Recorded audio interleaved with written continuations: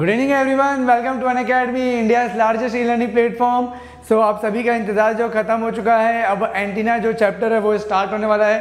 सो so, बहुत सारे students को एंटीना से रिलेटेड काफ़ी प्रॉब्लम्स रहते हैं। तो आज आप लोग देखोगे कि एंटीना को भी हम उतना ही ईजी बनाएँगे जैसे हम लोगों ने ट्रांसमिशन लाइन प्लेन वेव को बनाया हुआ है।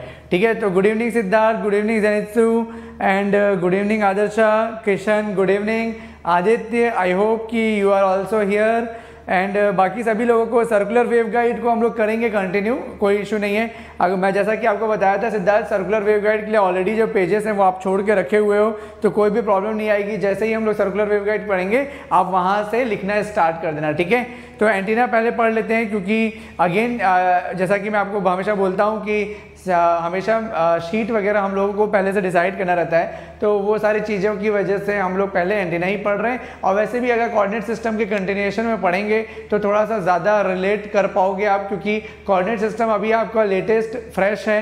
है ना? आप लोगों को ध्यान है, अगर मैं आपको कुछ भी बोलूँ कि थीटा क्या होता है फाई क्या होता है तो मुझे लगता है कि आप लोग ईजिली बता दोगे कि what is theta and what is phi ठीक है? Yes Subhajit hello and Arjun yes hello dear and Nilay very nice Nilay so interesting chapter है बहुत ही uh, आसानी से हम लोग पढ़ेंगे इसको। दिक्कत आप लोगों को नहीं आएगी। बहुत सारे लोगों को दिक्कत आती है लेकिन हम इसको इतने आसानी से पढ़ेंगे कि आप लोगों को कहीं पे दिक्कत नहीं आएगी। ठीक है तो बिफोर स्टार्टिंग द सेशन जैसा कि हमारा रिचुअल है तो let me introduce myself so this is Saket Verma and I have done M tech from I I T Guwahati and cracked P S exams like airport authority of India D R D and Bharat electronics limited I am having more than 10 year experience और इन 10 सालों में जो subjects मैंने deal किए हैं these are the communication system and EMFT तो अगर ये दोनों सब्जेक्ट की अगर आप बात करते हो तो इन दोनों सब्जेक्ट में बहुत ही अच्छे से आप कमांड कर सकते हो। अगर आप मेरे को फॉलो करोगे, मेरे मेरे गाइडेंस के अकॉर्डिंग आप चलोगे तो मैं ये बोलता हूँ कि इसका जो वेटेज है, वो 20 मार्क्स से ज़्यादा है और आप ये 20 मार्क्स बिल्कुल गेन कर सकते हो अपने मेन गेट एग्ज़ाम में। अगर आप स्टार्टिंग से एंड तक मुझे फॉलो कर रहे हो और जो चीज़ें मैं एक्सप्लेन कर रहा हूँ, अगर आप उसको स्टेप बाय स्टेप समझ पा रहे हो। जितना मैं एक्सप्लेन कर रहा हूँ, अगर आप उतना समझ लिए, जितने मैं क्वेश्चंस करा रहा हूँ, उस टाइप के क्वेश्चंस अगर आप खुद से सॉल्व करने के लिए कैपेबल हो गए तो आपको 20 से ज़्यादा मार्क्स बिल्कुल मिल जाएँगे 101 परसेंट मिल जाएँगे। ठीक है?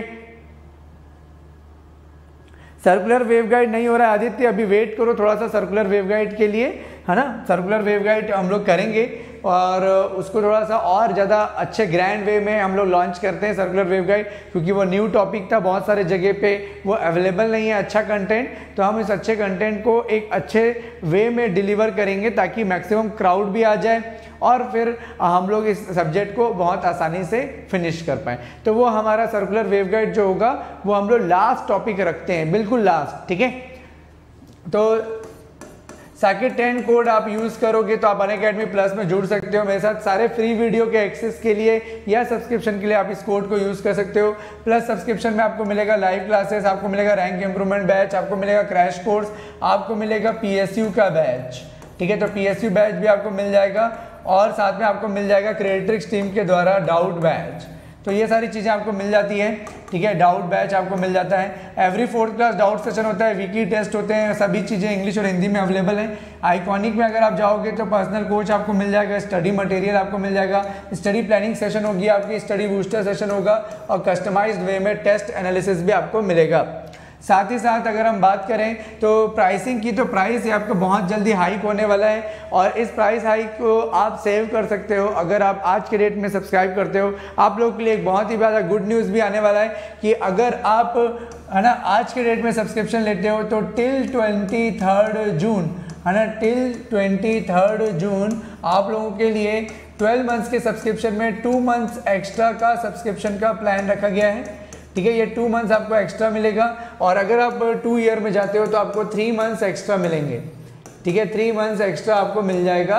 अगर आप टू ईयर का सब्सक्रिप्शन लेते हो तो दैट इज़ द एडवांटेज और ये जो ऑफ़र है, वो सिर्फ़ और सिर्फ़ ट्वेंटी थर्ड जून से तक वैलिड है और ट्वेंटी थर्ड जून तक वैलिड होने के पीछे रीज़न है क्योंकि आपका जो बैच है, वो ट्वेंटी थर्ड जून को स्टार्ट हो रहा है एनालॉग इलेक्ट्रॉनिक्स का। जो कि गेट ट्वेंटी टू और गेट ट्वेंटी थ्री के लिए है तो इलेक्ट्रॉनिक्स और इलेक्ट्रिकल के सारे स्टूडेंट्स इस बैच को ज़रूर से ज्वाइन कर लेंगे क्योंकि ये बैच बहुत ही इंपॉर्टेंट होने वाला है। और इस बैच में ज्वाइन करने के लिए जो आपको कोड यूज़ करना है, वो कोड साकेट टेन है, ठीक है? और हर संडे को आपका कॉम्बैट होता है। इस संडे भी बहुत सारे लोगों ने कॉम्बैट दिया। कॉम्बैट में उनको बहुत सारे डिस्काउंट ऑफ़र किए गए और वो डिस्काउंट के कारण वो सब्सक्रिप्शन ले पा रहे हैं। तो अब उनको कितनी सारी चीज़ें मिल रही हैं? आपको 25 परसेंट डिस्काउंट भी मिल जा रहा है। प्लस टू मंथ एक्स्ट्रा का सब्सक्रिप्शन भी मिल जा रहा है, अगर आप वन ईयर का ले रहे हो। तो ये सारी चीज़ें आपको मिलती हैं अगर आप कॉम्बैट में देते हो। तो ये 25 भी हो सकता है, ये 50 भी हो सकता है, ये 75 भी हो सकता है, ये आपको कॉम्बैट में पता चलता है और टू मंथ एक्स्ट्रा का सब्सक्रिप्शन भी आपको मिल सकता है। ठीक है? तो ये आप लोगों को ध्यान रखना है। तो इस संडे को जो कॉम्बैट होगा, उसमें भी आप अपियर होइए और देखिए कि आपसे कितने क्वेश्चन बन रहे हैं, आप कितने रैंक तक अचीव कर पा रहे हैं। ये सारे जो ऑफ़र है, ये अंडर हंड्रेड रैंक तक के लिए ही वैलिड है। ठीक है? तो अंडर हंड्रेड रैंक तक आपको लेके आना ही आना है।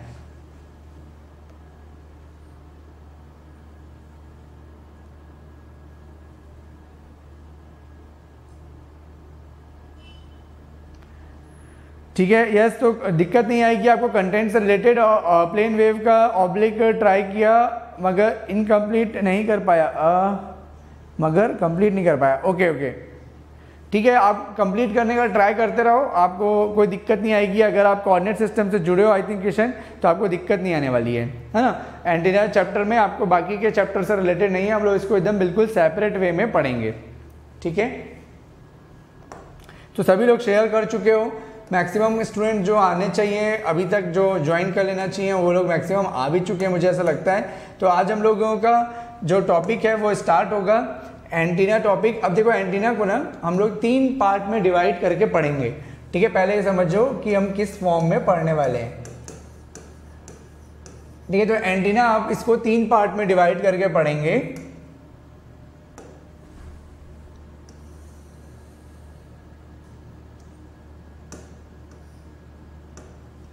ठीक है, जो फ़र्स्ट पार्ट होगा, और ये हमारा सेकंड पार्ट और ये हमारा थर्ड पार्ट जनरली अगर आप साडिको की बुक को देखोगे तो उसके अकॉर्डिंग हम लोग का जो सीक्वेंस होता है, वो किस टाइप का होता है? एंटीना में सबसे पहले ना हम लोग डायपोल और मोनोपोल एंटीना पढ़ते हैं. ठीक है डायपोल एंड मोनोपोल एंटीना ये हमारे सिलेबस में है. डायपोल एंड मोनोपोल एंटीना ठीक है ये वाला पार्ट सबसे पहले पढ़ा जाता है। अगर आप किसी टेक्स्ट बुक में देखोगे तो डायपोल एंटीना और मोनोपोल एंटीना दिया रहता है। और कुछ अच्छे टेक्स्ट बुक भी हैं, जिसमें सबसे पहले आपका जो डिफाइन होता है, वो है एंटीना कैरेक्टरिस्टिक्स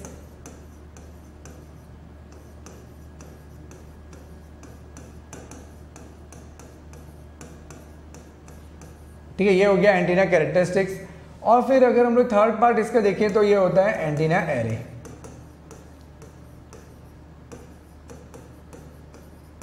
तो ये जो पूरा चैप्टर है, ये इस तरीके से तीन पार्ट में डिवाइडेड है। यस दिव्यांशु गुड इवनिंग ठीक है तो ये पूरा चैप्टर जो रहेगा, वो इस तरीके से तीन पार्ट में डिवाइडेड है। तो हम स्टार्ट करेंगे इस चैप्टर को एंटीना कैरेक्टरिस्टिक से। जनरली जब मैं क्लासरूम में पढ़ाता हूँ, है ना तो मैं हमेशा यहाँ से स्टार्ट करता हूँ। डायपोल एंड मोनोपोल एंटीना से, लेकिन इस बार मैं यहाँ पे इससे स्टार्ट करने वाला हूँ। ठीक है? तो क्योंकि ये आपका मैंने क्लाउड टाइप का बना दिया है तो इस तरीके से मैं रेन भी करा देता हूँ आप लोगों के लिए। ये देखो रेन भी हो गई। तो यहाँ से आप लोगों की बारिश होगी। एक बहुत ही बेहतरीन फॉर्म में एंटीना कैरेक्टरिस्टिक्स के पैरामीटर की बारिश होने वाली है आज। ठीक है? तो यहाँ पे हम लोग बहुत सारे डिफरेंट कैरेक्टरिस्टिक्स पढ़ेंगे। ठीक? तो डायपोल एंड मोनोपोल एंटीना हम लोग सेकेंड फ़ेज़ में पढ़ेंगे और फिर थर्ड फ़ेज़ हमारा रहेगा एंटीना एरे का। ठीक है? तो यहाँ पे हम लोग पढ़ेंगे और यहाँ से ना बहुत सारे स्टैंडर्ड टेक्स्ट बुक में यहाँ से स्टार्ट करता है। और इसी वजह से इस बार मैंने भी सीक्वेंस चेंज करने का ट्राई किया है सो so दैट जब इतने बड़े बड़े टेक्स्ट बुक जो हैं, वो इस पर्टिकुलर पार्ट से स्टार्ट करके अपनी पूरी बुक लिख सकते हैं। तो मुझे लगता है कि हम लोग भी इस पार्ट से स्टार्ट करके पूरे टॉपिक एंटीना को समझ सकते हैं। तो मेरे को पहले ऐसा फील होता था कि डायपोल एंटीना अगर नहीं जानोगे तो शायद उसके कैरेक्टरिस्टिक्स को समझना मुश्किल होगा। बट धीरे धीरे मेरे को भी लगता है कि हम उसको सेपरेटली पढ़ सकते हैं डायपोल एंड मोनोपोल को, और एंटीना कैरेक्टरिस्टिक्स को भी सेपरेटली पढ़ सकते हैं। तो अगर एंटीना कैरेक्टरिस्टिक्स का जो वेटेज है ना, सबसे ज़्यादा इसका वेटेज होता है। यहीं से हमको क्वेश्चन पूछे जाते हैं, है ना? तो इस वजह से हम यहीं से स्टार्ट कर रहे हैं ताकि एंटीना टॉपिक के जब हम क्वेश्चन सॉल्व करें तो हमारा कॉन्फिडेंस बढ़े। और कॉन्फिडेंस बढ़ेगा तो आपको एंटीना चैप्टर से भी डर नहीं लगेगा और फिर हम थोड़े से डेरिवेशन वाले पार्ट पे जाएँगे, क्योंकि यहाँ पे लेंदी डेरिवेशन हैं। और अगर मैं एंटीना चैप्टर को उस डेरिवेशन से स्टार्ट करूँगा तो हो सकता है कि आपको वो बोर लग जाए। ठीक है? क्योंकि एट द एंड तो रिज़ल्ट इंपॉर्टेंट होता है, लेकिन मैं आपको बताया था कि हम लोग पूरे डेरिवेशन के साथ करेंगे, थोड़ा सा फील लाने की कोशिश करेंगे। तो इस वजह से हम इसको सेकेंड फ़ेज़ में पढ़ेंगे। पहले थोड़ा सा इजीएस्ट पार्ट पढ़ लेते हैं, फिर थोड़ा सा टफ जाएँगे, फिर थोड़ा सा और टफ करेंगे। और एंटीना एरे जो कि थोड़ा सा इन तीनों में सबसे टफ पार्ट जो माना जाता है, वो एंटीना एरे है। बट उसको मैं काफ़ी इजी बना दूँगा आप लोगों के लिए, क्योंकि हाँ मेरा काम तो वही है ना कि आप लोगों के लिए सब्जेक्ट को ईजिएस्ट वे में बनाना। ठीक है? चलो तो हम स्टार्ट करेंगे एंटीना कैरेक्टरिस्टिक से।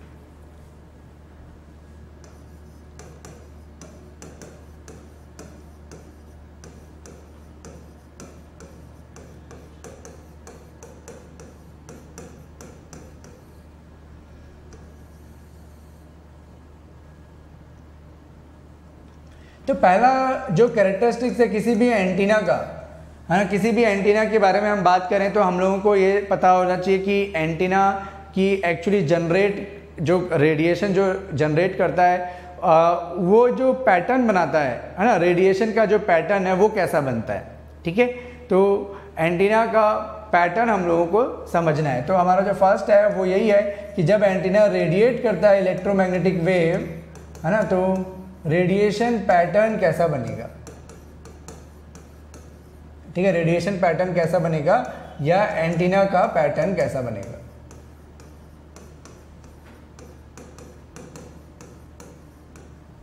ठीक है एंटीना क्या होता है कैसे जन आ, कैसे हम इसको फॉर्म करते हैं क्यों ये रेडिएट करता है क्या ये पर्टिकुलर पेन रेडिएट कर सकता है किस पर्टिकुलर केस में कोई वायर से रेडिएशन होता है ये सारी चीज़ों को मैं नहीं इंक्लूड कर रहा हूँ क्योंकि वो थ्योरेटिकल बैकग्राउंड है वो आपका न्यूमेरिकल पॉइंट ऑफ़ व्यू से या क्वेश्चन के पॉइंट ऑफ़ व्यू से इंपॉर्टेंट नहीं है। लेटर ऑन जब हम लोग डायपोल एंटेना स्टार्ट करेंगे तो मैं थोड़ा सा ब्रीफ करूँगा आपको बट फ़िलहाल के लिए हम लोग डायरेक्टली रेडिएशन पैटर्न पे जंप कर रहे हैं। ठीक है?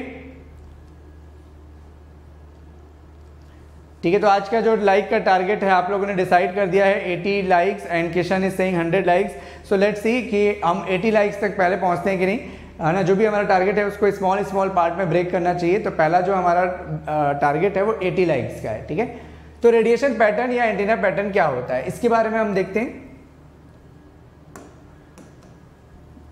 पहला इसमें पॉइंट लिखना वेन द इलेक्ट्रिक फ़ील्ड ठीक है? इसमें पहला पॉइंट लिखोगे आप, when the amplitude of specified yes when the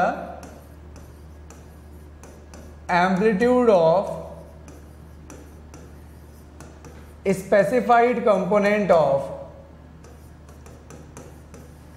लिखते जाओ इसको फटाफट when the amplitude of specified component of electric field is plotted जब हम इलेक्ट्रिक फ़ील्ड को प्लॉट करते हैं then it is called field pattern field pattern बोलेंगे या फिर वोल्टेज पैटर्न बोलेंगे। और वोल्टेज पैटर्न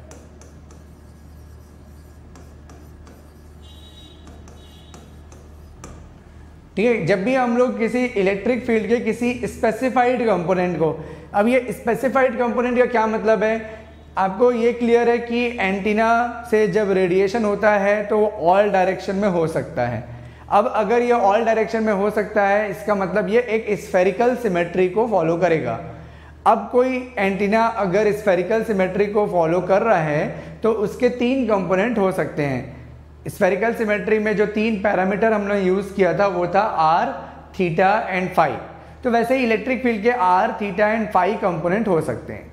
तो अब आर कंपोनेंट को आप प्लॉट कर रहे हो थीटा कंपोनेंट को प्लॉट कर रहे हो, या फाइव कंपोनेंट को प्लॉट कर रहे हो, उसके अकॉर्डिंग इसको बोला गया है स्पेसिफाइड कंपोनेंट इलेक्ट्रिक फ़ील्ड का आर कंपोनेंट तो वो स्पेसिफाई कर दिया आपने कि इलेक्ट्रिक फ़ील्ड के आर कंपोनेंट को हम प्लॉट कर रहे हैं। सो so, यही चीज़ आपका बोल रहा है कि जब इलेक्ट्रिक फ़ील्ड के स्पेसिफाइड कंपोनेंट के एम्पलीट्यूड को आप प्लॉट करोगे तो उसको हम लोग फ़ील्ड पैटर्न बोलेंगे क्योंकि आपने इलेक्ट्रिक फ़ील्ड को प्लॉट किया है तो इसलिए इसको फ़ील्ड पैटर्न बोलेंगे।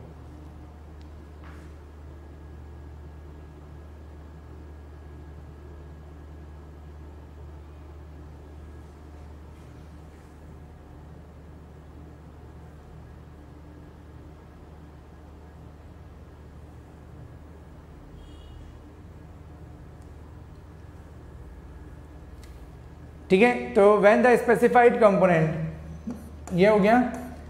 Second point when square of amplitude when square of amplitude of electric field is plotted specified component तो रहेगा ही रहेगा, है ना? जब आप किसी भी इलेक्ट्रिक फ़ील्ड के स्क्वायर को प्लॉट करोगे when the square of amplitude of electric field is plotted then it is called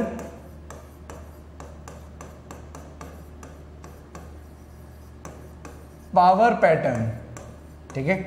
Then it is called power pattern तब आप उसको पावर पैटर्न बोलोगे क्योंकि इलेक्ट्रिक फ़ील्ड का आपने स्क्वायर कर दिया तो वोल्टेज का स्क्वायर करोगे पावर बन जाएगा। इलेक्ट्रिक फ़ील्ड का स्क्वायर करते हैं पावर बन जाएगा, क्योंकि हम लोग जानते हैं कि Poynting vector E naught square divided by two eta के फॉर्म में लिखा जाता है। मतलब कि इलेक्ट्रिक फ़ील्ड का स्क्वायर लिखा जाता है। तो इलेक्ट्रिक फ़ील्ड का स्क्वायर अगर हम करेंगे तो जो पैटर्न बनेगा, उसको अगर हम लोग प्लॉट करेंगे, वो पैटर्न जो कहलाएगा, वो पावर पैटर्न कहलाएगा। हाँ जब थीटा को प्लॉट करोगे तो भी वोल्टेज, देखो electric field is related to the voltage that is why we call as voltage pattern ठीक है? तो इलेक्ट्रिक फ़ील्ड और वोल्टेज हमारा सेम होता है। We know that E is equal to minus of gradient of V तो electric field और voltage एक दूसरे से रिलेटेड होते हैं। जहाँ फ़ील्ड में हम इलेक्ट्रिक फ़ील्ड बोलते हैं, वहीं पे हम लोग नेटवर्क में वोल्टेज बोलते हैं। ठीक है? तो ये दोनों एक दूसरे से एनोलॉजी है, बोल सकते हो, या रिलेटेड है। ठीक है, फ़ील्ड और वोल्टेज, है ना? हम्म तो ये आ गया। अब थर्ड अगर हम लोग देखें, ठीक सो थर्ड अगर हम लोग देखते हैं तो ये होता है, मान लो नॉर्मलाइज्ड इलेक्ट्रिक फ़ील्ड को हम प्लॉट करें। Normalized electric field normalized electric field अब नॉर्मलाइज कैसे करते हैं, वो हम बाद में सीखेंगे। ठीक है, ये याद रखना। कि नॉर्मलाइज वर्ड मैंने यूज़ किया है बट नॉर्मलाइज कैसे करते हैं, हम धीरे धीरे चैप्टर के आगे में सीखेंगे। अभी हम लोग नॉर्मलाइज करना नहीं सीख रहे हैं, ठीक है? तो normalized electric field versus theta ठीक है? Normalized electric field versus theta for a constant phi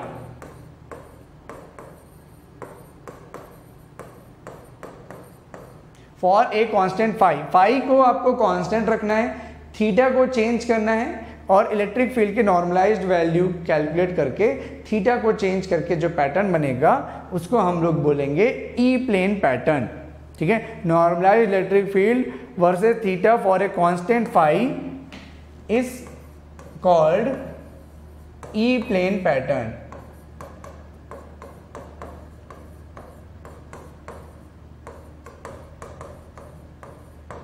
ठीक है? ई प्लेन पैटर्न बोलेंगे इसको. अब मैं बताऊँगा आपको कि अभी ये ई प्लेन पैटर्न या आ, कैसे बनेगा अभी हम लोग ये सब प्लॉट करेंगे ठीक है?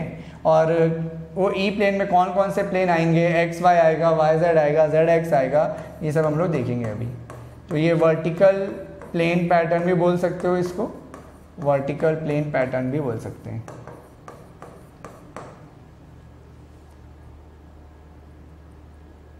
Divided by maximum power for normalize power ठीक है? डिवाइडेड बाय एंटीना आपका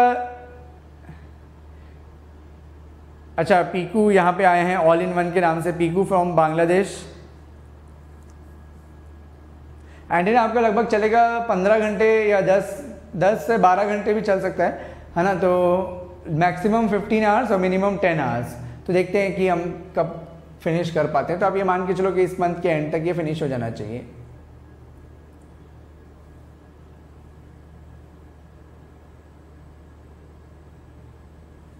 तो इंपॉर्टेंट डेफिनेशन ना यही वाला है। ये थर्ड पॉइंट जो है ना वही इंपॉर्टेंट है।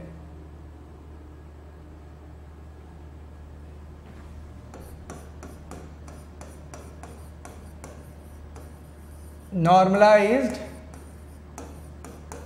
electric field normalized electric field versus phi for theta is equal to pi by two is called H plane pattern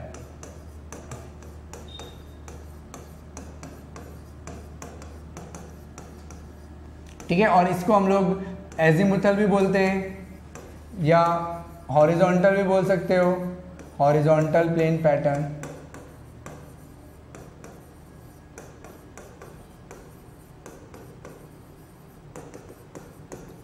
ये। ठीक है, ये हमारा तीन पॉइंट हो गया।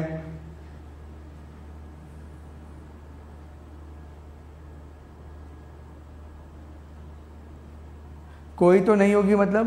प्रॉब्लम प्रॉब्लम होती तो फिर मैं पढ़ाता ही क्यों, है ना?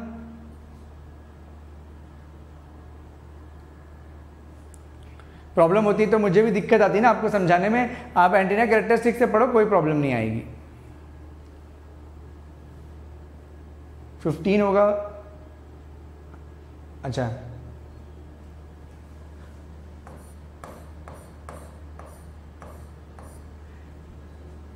ठीक है लास्ट पॉइंट लिखो। Antenna pattern is a three dimensional plot of its radiation pattern at far field. लिख लो। antenna pattern or the radiation pattern is a three dimensional plot of its radiation. Antenna pattern or radiation pattern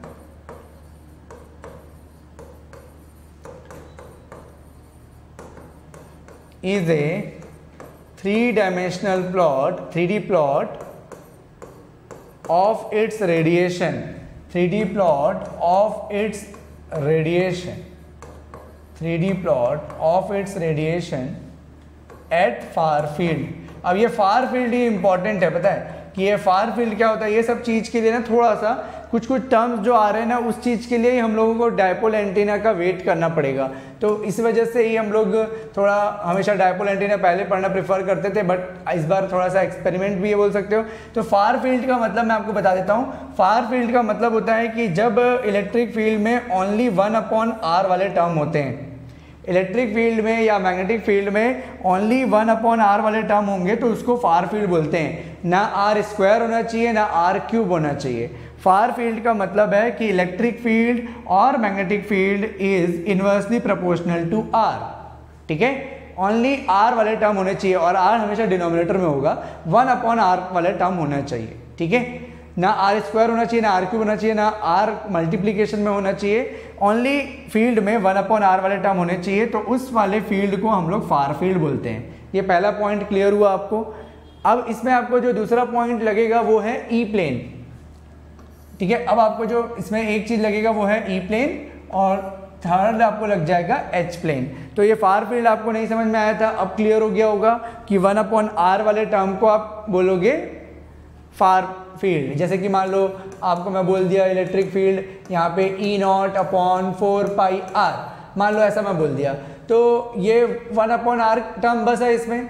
तो ये क्या कहलाएगा आपका फार field ठीक है? क्योंकि इसमें आर वाला टर्म डिनोमिनेटर में है। तो वन अपॉन आर वाले टर्म को हम लोग फार फ़ील्ड बोल देंगे। तो ये एग्ज़ाम्पल के लिए मैंने बताया आपको, ठीक है? ऐसा कोई पैटर्न मतलब फ़ील्ड नहीं होता बट एक एग्ज़ाम्पल के लिए मैंने बताया। ठीक? ये वाला चीज़ समझ गए? अब आप समझने की कोशिश करो ई e प्लेन को, ठीक है? अब ई e प्लेन को यहाँ पे मैंने क्या लिखा है? इसको पढ़ो। Normalize electric field versus theta तो थीटा के साथ हमको प्लॉट करना है। मतलब एक्सिस में मुझे थीटा मिलना चाहिए। मानते हो? थीटा मिलना चाहिए। अगर थीटा मिलेगा तभी तो थीटा को चेंज करके इलेक्ट्रिक फ़ील्ड को प्लॉट करोगे। तो सबसे पहला कि हमको थीटा मिलना चाहिए। और थीटा कौन से एक्सिस से मिलता है, ये बता सकते हो? थीटा कौन से एक्सिस से हमको मिलता है, ये बता दो।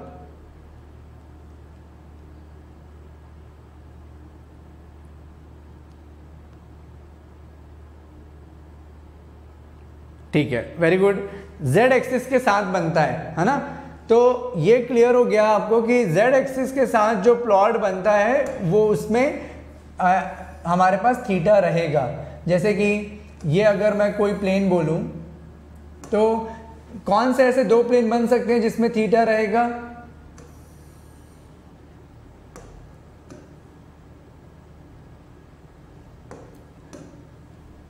जैसे कि हमारे पास हो सकता है एंटी क्लॉकवाइज डायरेक्शन में जाएँगे तो एक हो सकता है जेड एक्स ठीक है? तो जेड एक्स हो सकता है और एक हो सकता है वाई और जेड ठीक है? तो ये दोनों प्लेन में जो भी प्लॉट बनेगा, अगर इन दोनों प्लेन में आप इलेक्ट्रिक फ़ील्ड को प्लॉट करोगे तो that will be a E plane pattern ठीक है? यहाँ पे क्योंकि जेड एक्सिस में थीटा की वैल्यू ज़ीरो होगी, फिर एक्स एक्सिस में आओगे थीटा की वैल्यू 90 डिग्री हो जाएगी फिर आप यहाँ पे आ जाओगे, ये 180 डिग्री हो जाएगा। और थीटा इक्वल टू ज़ीरो से 180 डिग्री में जो भी हमको प्लॉट मिलेगा, वो 180 से 360 डिग्री पे भी मिलेगा, क्योंकि थीटा का जो रेंज है वो ज़ीरो से 180 होता है। 180 से 360 क्यों नहीं होता? क्योंकि सेम चीज़ रिपीट होती है। तो जो भी प्लॉट आप ज़ीरो से 180 डिग्री पे करोगे 180 से 360 डिग्री पे भी वही मिलेगा। अभी हम देखेंगे एग्ज़ाम्पल में। ठीक है? तो एक प्लेन आपका हो गया एक्जेड प्लेन जहाँ पे अगर हम इलेक्ट्रिक फ़ील्ड को प्लॉट करेंगे तो जो एंटीना का पैटर्न बनेगा, उसको हम बोलेंगे ई प्लेन पैटर्न ठीक है? तो यहाँ पे ये हमारा ई प्लेन बन जाएगा। ये ई प्लेन है, ठीक है? वैसे ही अगर हम लोग वाई जेड पे जाएँगे तो यहाँ पे हमारे पास थीटा की वैल्यू ज़ीरो होगी, ठीक है? और इसके बाद फिर यहाँ पे आ गए तो हमारे पास थीटा की वैल्यू 90 डिग्री हो जाएगी। ये और फिर यहाँ से हम लोग जाएँगे तो 180 डिग्री हो जाएगा यहाँ पे, और उसको लिखने की क्या ज़रूरत नहीं है मैं नहीं लिख रहा हूँ। तो यहाँ पे भी जो पैटर्न बनेगा, वो कहलाएगा ई प्लेन पैटर्न ठीक है? तो ई प्लेन पैटर्न आपके दो टाइप के प्लेन में बन सकता है, एक हो गया वाई जेड और एक हो गया एक्स जेड जेड एक्सिस का होना कंपलसरी है। अगर आप कोई भी पैटर्न ड्रॉ कर रहे हो चाहे हम लोग एंटीना एरे में पढ़ेंगे, है ना? अगर आप कोई पैटर्न ड्रॉ कर रहे हो तो उसमें z एक्सिस का होना कंपलसरी है, अगर आपको पैटर्न ई प्लेन में बोला है। ठीक है? समझ में आ गया यहाँ तक? ई प्लेन में अगर बोला है तो आपके लिए कंपलसरी है कि z एक्सिस आपके प्लॉट में होना चाहिए।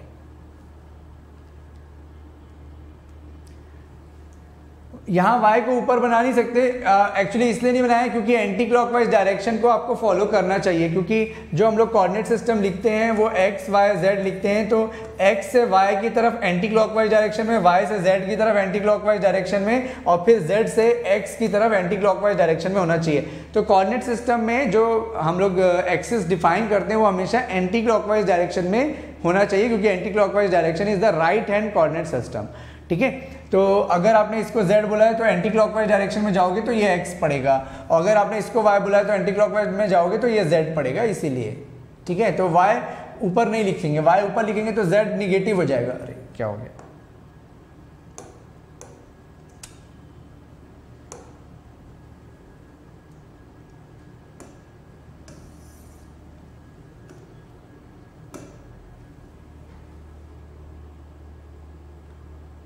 जेड एक्सिस का होना ज़रूरी है, मैं अभी तो रीजन बताया। जेड एक्सिस नहीं रहेगा तो थीटा की वैल्यू नहीं रहेगी। जेड एक्सिस से जो एंगल मेजर करते हैं, वही तो थीटा होता है। तो अगर आप जेड एक्सिस को नहीं रखोगे अपने प्लॉट में, यानी कि ई प्लेन पैटर्न के प्लॉट में तो आपका प्रॉब्लम क्या आएगा कि आप थीटा को मेजर कैसे कर रहे हो, ये समझ में नहीं आएगा। क्योंकि हम तो ऑन पेपर ड्रॉ कर रहे हैं। हम अगर सिमुलेशन कर रहे होते तो हम कर लेते। है ना, हम मैट लैब में अगर प्लॉट कर रहे होते तो हम कर सकते थे। बट क्योंकि we are plotting on paper तो हमको ये पता होना चाहिए कि एंगल हमको कहाँ से मेजर करना है। तो एंगल जो मेजर होता है, वो होता है जेड एक्सेस से। Theta is the angle measured from the Z axis and when we vary the theta and plot the electric field that pattern is called E plane pattern ठीक है?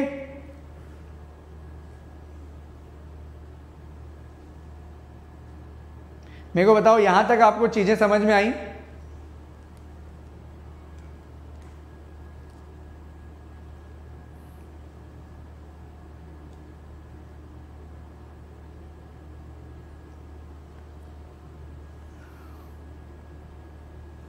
ठीक है।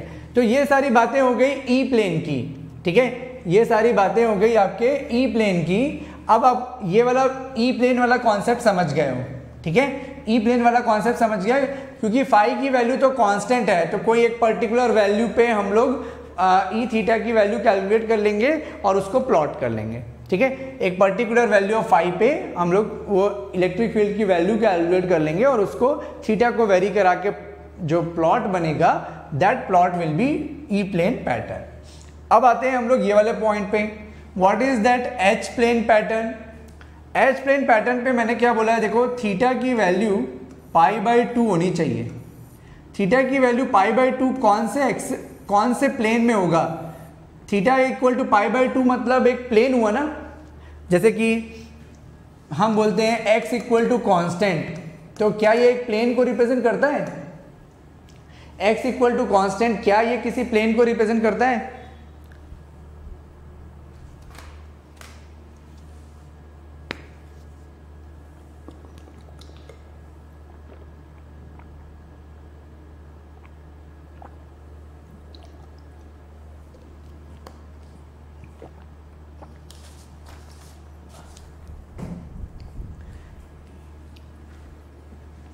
एक्स की वैल्यू कांस्टेंट मतलब Y Z plane होगा। सिद्धार्थ, मैं आप, बताया था, भूल गए हो आप, कि कोई भी पैरामीटर अगर कांस्टेंट है तो उसके अदर डायरेक्शन में उसका एक्स अगर कांस्टेंट है तो प्लेन का नॉर्मल एक्स डायरेक्शन में होता है।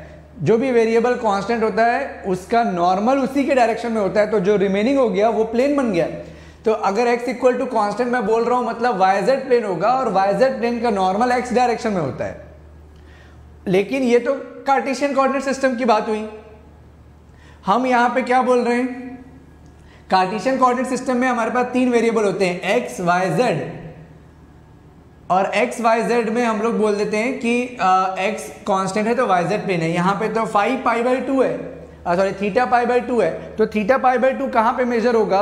ये जेड एक्सिस है मान लो बोर्ड और बोर्ड से 90 डिग्री अगर मैं नीचे आऊँगा तो मैं फ्लोर पे आ जाऊँगा ना। ये बोर्ड ऐसा वर्टिकल खड़ा हुआ है।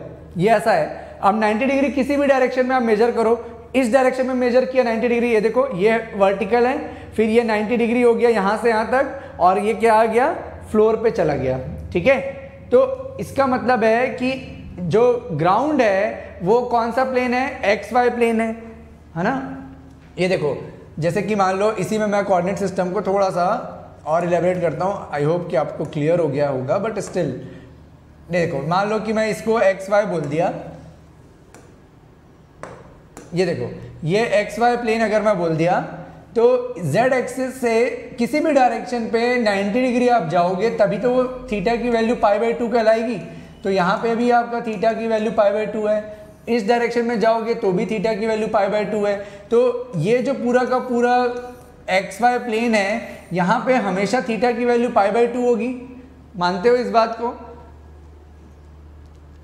एक्स वाई प्लेन पे थीटा की वैल्यू हमेशा पाई बाई टू होगी।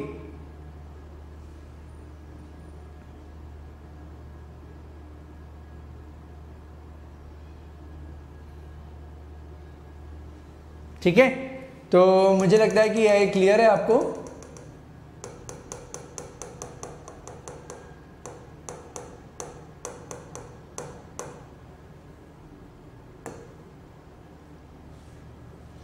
तो अब हमारा जो प्लेन बनेगा, मैं उसको बना देता हूँ।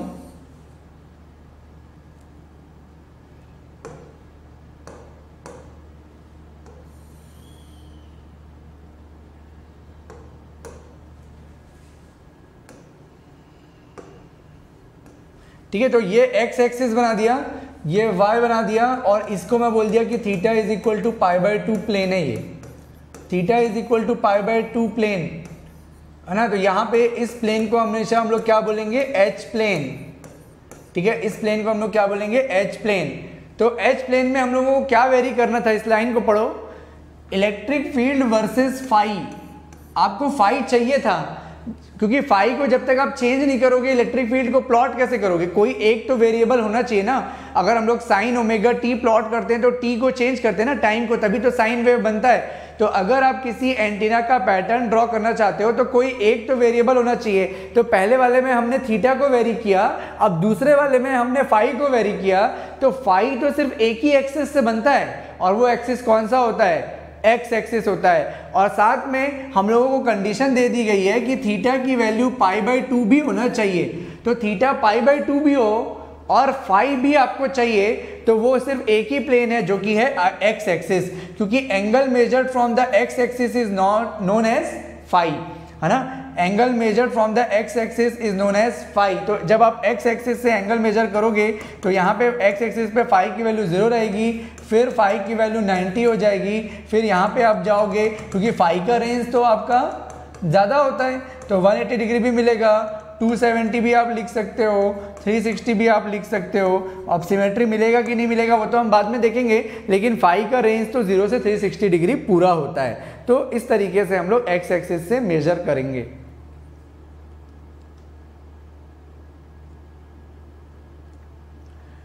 ठीक है? अब आपके पास बस मन में ये क्वेश्चन आएगा कि यहाँ पे x भी है z भी है तो क्या x एक्सिस से जो मेजर करेंगे वो फाइव हो जाएगा और z एक्सिस से जो मेजर करेंगे वो थीटा हो जाएगा? तो हम बोलेंगे नो no, बिकॉज़ हमारे लिए कंडीशन है कि थीटा की वैल्यू पाई बाई टू होनी चाहिए। तो पाई बाई टू आपको यहाँ पे नहीं मिलेगा क्योंकि z एक्सिस से अगर आ जाओगे तो थीटा की वैल्यू पाई बाई टू कहाँ हुआ? ठीक है? तो हमारे पास यहाँ पे थीटा की वैल्यू पाई बाई टू भी होनी चाहिए और एक ऐसा एक्सिस होना चाहिए जहाँ से हम फाई को मेजर कर सके। और फाई मेजर होता है एक्स एक्सिस से। With theta is equal to pi by two and angle measure from the X axis is only one plane which is a H plane that is X Y तो अगर आप plot करोगे तो आप E plane plot करने के लिए ये दोनों प्लेन को यूज़ कर सकते हो।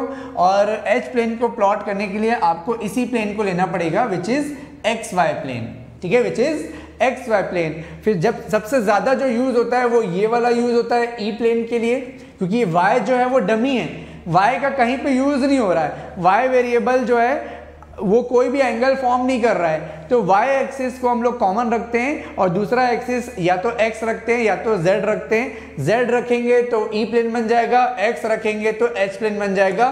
तो ये दोनों प्लेन सबसे ज़्यादा यूज़ होते हैं। ये आप कर सकते हो बट यूज़ नहीं होता। देखने को नहीं मिलेगा आपको। ठीक है, आपको किसी क्वेश्चन में देखने को नहीं मिलेगा, किसी बुक में देखने को नहीं मिलेगा बट ये आप रख सकते हो बट एज आई सेड कि ये यूज़ नहीं होता।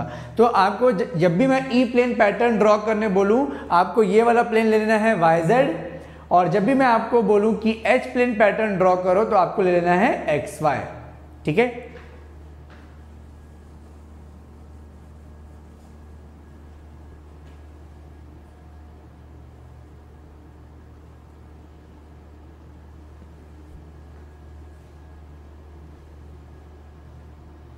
ठीक है? यहाँ तक सभी को क्लियर तो एक सिंपल प्लेन का कॉन्सेप्ट था, ये क्लियर हो गया। नॉर्मलाइज्ड वैल्यू हम लोगों को प्लॉट करनी है ना? तो नॉर्मलाइज्ड वैल्यू कैसे निकालते हैं, ये भी मैं आपको बताता हूँ यहाँ पे। तो जैसे आपको इलेक्ट्रिक फ़ील्ड की नॉर्मलाइज वैल्यू निकालनी है, ठीक है? इलेक्ट्रिक फ़ील्ड की नॉर्मलाइज वैल्यू निकालनी है तो जो भी आपका इलेक्ट्रिक फ़ील्ड है, ठीक है? जो भी आपका इलेक्ट्रिक फ़ील्ड का मॉड है, उसको मॉड के मैक्सिमम वैल्यू से डिवाइड कर दो। ठीक है? अब ये मत बोलना कि मॉड निकालेंगे तो मैक्सिमम वैल्यू निकल जाएगी। यहाँ पे मॉड का मतलब है मैग्नीट्यूड क्योंकि इलेक्ट्रिक फ़ील्ड तो एक वेक्टर क्वांटिटी है ना? तो वेक्टर क्वांटिटी है तो उसका डायरेक्शन नहीं लेना है हमको। उसमें अगर फेजेस हैं तो फेजेस को नहीं लेना है ओनली मैग्नीट्यूड टर्म को लेना है। ठीक है? जैसे कि मान लो, कोई वैल्यू आई ई नॉट साइन ओमेगा या साइन थीटा ये मान लेते हैं कि हम लोगों का इलेक्ट्रिक फ़ील्ड का वैल्यू है इलेक्ट्रिक फ़ील्ड का आर कंपोनेंट है। तो मैं ये लिखूँगा। ठीक है? समझ गया? देखो, इसको एक्सप्लेन कर रहा हूँ मैं आपको। इसको ध्यान से समझना। अगर कोई दिक्कत होगी तो पूछ लेना।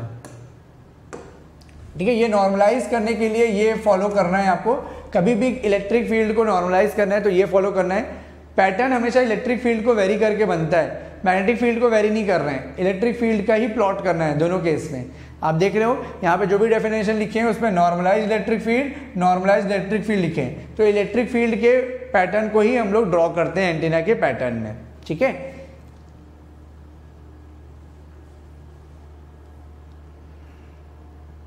यस दक्ष, ये भी एक अच्छा पॉइंट है यहाँ पे, दक्ष का।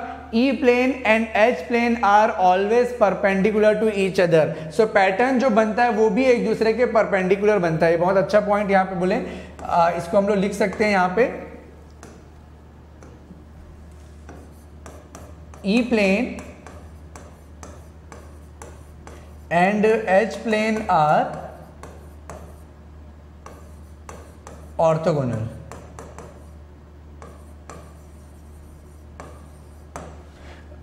E plane and H plane are orthogonal.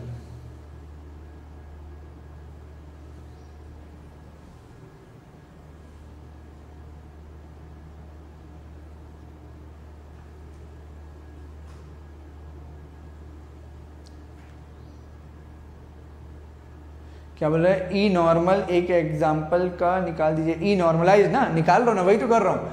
देखो, मैं क्या बोला? मान लेते हैं कि किसी एंटीना का, ठीक है, मान लेते हैं कि किसी एंटीना का पैटर्न ऐसा आया। मान लेते हैं आर के डायरेक्शन पे, ठीक है? अब मुझे इसको नॉर्मलाइज करना है। तो सबसे पहले हम लोग इसका मैग्नीट्यूड निकालेंगे। तो ये ई e आर का मैग्नीट्यूड निकाल दो। तो इसका मैग्नीट्यूड हो गया ई नॉट साइन थीटा ठीक है? अब इस मैग्नीट्यूड की मैक्सिमम वैल्यू क्या होगी? चलो आप ही लोग बता दो। इसकी मैक्सिमम वैल्यू क्या होगी? बोलोगे आप ई e नॉट होगा, क्योंकि साइन थीटा की मैक्सिमम वैल्यू वन होगी। तो इसकी मैक्सिमम वैल्यू साइन थीटा की मैक्सिमम वैल्यू वन हो गई तो इसकी मैक्सिमम वैल्यू ई नॉट हो गई, ठीक है? अब आप निकाल लो नॉर्मलाइज वैल्यू तो इलेक्ट्रिक फ़ील्ड का नॉर्मलाइज्ड वैल्यू जो होगा, जो इलेक्ट्रिक फ़ील्ड है वो, यानी कि इसका मैग्नीट्यूड जो आ गया ई नॉट साइन थीटा और डिवाइडेड बाय इसकी मैक्सिमम वैल्यू यानी कि ई e नॉट तो हमारे पास रिज़ल्ट आ गया साइन थीटा ठीक है? अब ठीक है? और हमेशा ये जो नॉर्मलाइज वैल्यू निकालते हैं, उसके मैग्नीट्यूड को ही प्लॉट करते हैं। अगेन यहाँ पे कुछ निगेटिव चीज़ वाला कॉन्सेप्ट नहीं है। निगेटिव कुछ भी नहीं होता। हर चीज़ का मोहर ले लेते हैं बस प्लॉट में। प्लॉट में। तो देखो, ये हम लोगों का पहले निकल गया, और मान लो कि गलती से ये माइनस साइन आ जाता। सपोज़ करो, वैसे तो आता ही नहीं क्योंकि हम पहले ही मॉड ले लिए। बट अगर गलती से आपने कोई कैलकुलेशन किया और आपका माइनस साइन थीटा आ गया तो भी आपको प्लॉट उसके मैग्नीट्यूड को ही करना है। तो ये साइन को आपको इग्नोर कर देना है। अगर मान लो गलती से आ गया, वैसे तो आएगा ही नहीं ना, क्योंकि पॉसिबल ही नहीं, क्योंकि हम पहले ही मॉड ले लिए।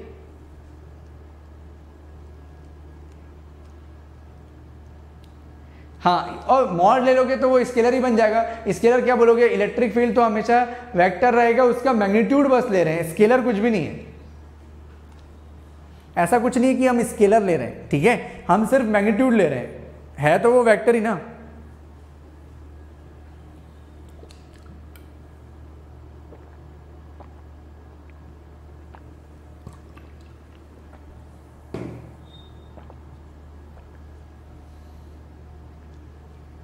ठीक है? तो देखो, अब नॉर्मलाइज हो गया क्वेश्चन आपका डाउट क्लियर हो गया। अब देखो, इसी का हम लोग पैटर्न ड्रॉ कर लेते हैं तो हमको समझ में आ जाएगा कि एंटीना का पैटर्न कैसे बनता है। आपके पास थीटा आ गया फाइव की वैल्यू कांस्टेंट रही होगी, कोई भी कांस्टेंट वैल्यू तो नॉर्मलाइज वैल्यू आ चुकी है, इसी को प्लॉट कर लो। आपको समझ में आ जाएगा कि पैटर्न कैसे ड्रॉ करते हैं। ई e प्लेन में भी प्लॉट कर लेंगे एच प्लेन में भी प्लॉट कर लेंगे, ठीक है? और मैं आपको आगे चल के बताऊँगा जब हम लोग हर्जन डायपोल पढ़ेंगे, जो डायपोल एंटीना है, उसमें एक टाइप का एंटीना होता है हर्जन डायपोल एंटीना नाम सुना होगा आपने। तो उस हर्जन डायपोल एंटीना का जब नॉर्मलाइज्ड वैल्यू निकालते हैं तो वो यही आता है मॉड ऑफ़ साइन थीटा इसीलिए मैंने ऐसा एग्ज़ाम्पल लिया कि आपको समझ में भी आ जाए और हर्जन डायपोल का पैटर्न भी बना लूँ और आपको ये भी नहीं पता चलेगा कि हम हर्जन डायपोल का पैटर्न बना डालें। ठीक है? तो ये जो होगा ना, ये सेम होता है आपका normalised electric field for normalised electric field for Hertzian dipole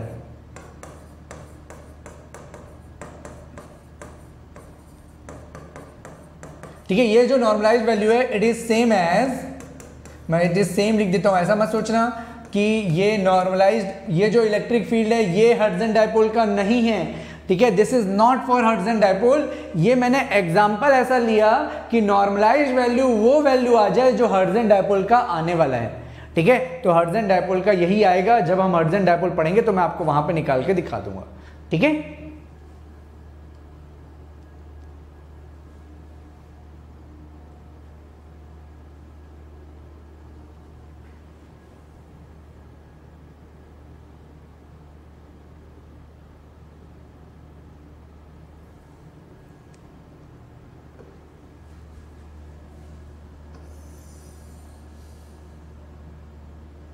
चलो तो आप थीटा को वेरी कर दें।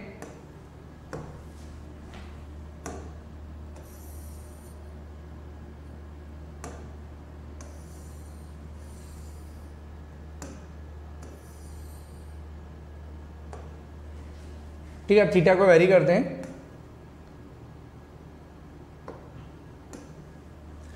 और नॉर्मलाइज्ड वैल्यू को प्लॉट करते हैं। तो ये थीटा हो गया और ये नॉर्मलाइज्ड वैल्यू हो गया और इसका मॉड याद रखना पैटर्न में हमेशा मॉड लेना है। अब थीटा की वैल्यू कहाँ कहाँ से वेरी होगी? तो एक होगा ज़ीरो चलो, एक ले लेते हैं फोर्टी फाइव फिर दूसरा ले लेते हैं नाइन्टी फिर नाइन्टी के बाद आ गया वन थर्टी फाइव फिर वन थर्टी के बाद आ गया वन एटी यही वैल्यू होगी। ठीक है?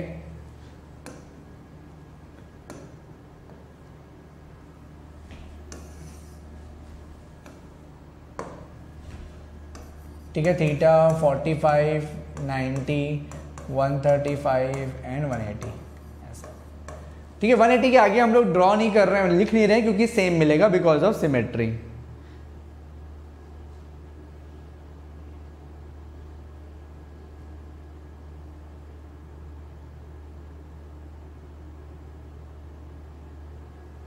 ठीक है अब थीटा इक्वल टू ज़ीरो रखोगे ज़ीरो आएगा. 45 रखेंगे तो वन बाय रूट टू आएगा तो मैं उसकी value point seven zero seven लिख लेता हूँ. 90 में वन आएगा नॉर्मलाइज वैल्यू की मैक्सिमम वैल्यू हमेशा वन होती है ना? क्या सही है ये? नॉर्मलाइज वैल्यू की मैक्सिमम वैल्यू चाहे किसी का भी नॉर्मलाइजेशन कर लो, उसकी मैक्सिमम वैल्यू वन होगी क्या?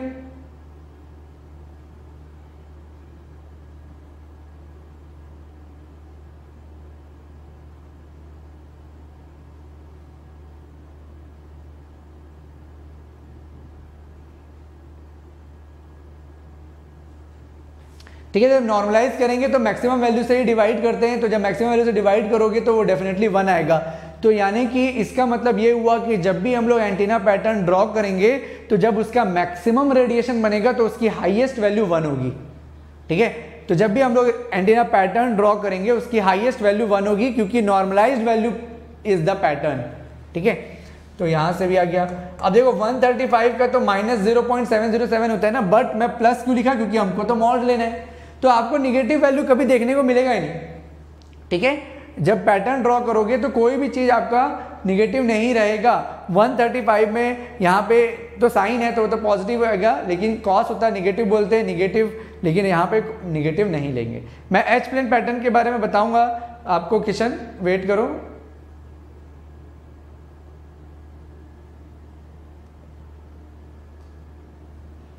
ठीक है? और 180 में ज़ीरो 180 में ज़ीरो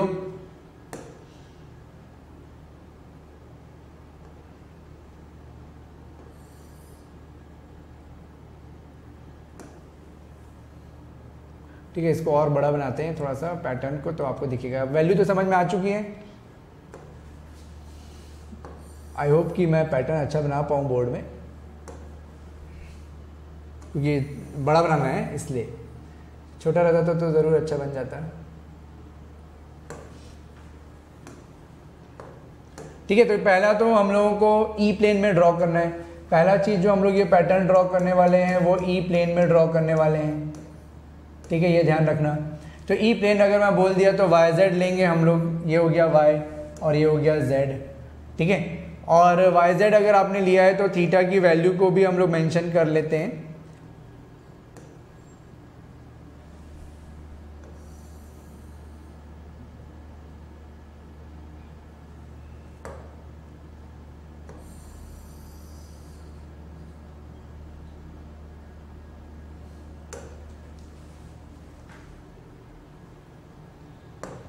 ठीक है, यहाँ पे हमको पता है कि थीटा की वैल्यू ज़ीरो होती है। ये मान लेते हैं कि थीटा की वैल्यू 45 डिग्री है। फिर वाई एक्सिस पे आ जाओगे तो थीटा की वैल्यू 90 डिग्री हो जाएगी। फिर यहाँ पे आ गए तो ये 135 हो गया। फिर यहाँ पे आ गया तो ये 180 डिग्री हो गया और इसके आगे हमको जाने की ज़रूरत नहीं है।